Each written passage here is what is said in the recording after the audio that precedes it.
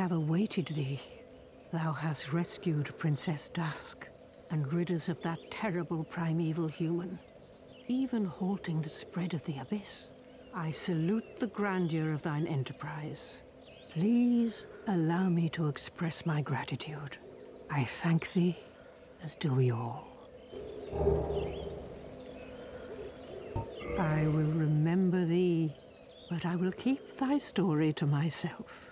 This is the best way, for thou art come from a time far ahead.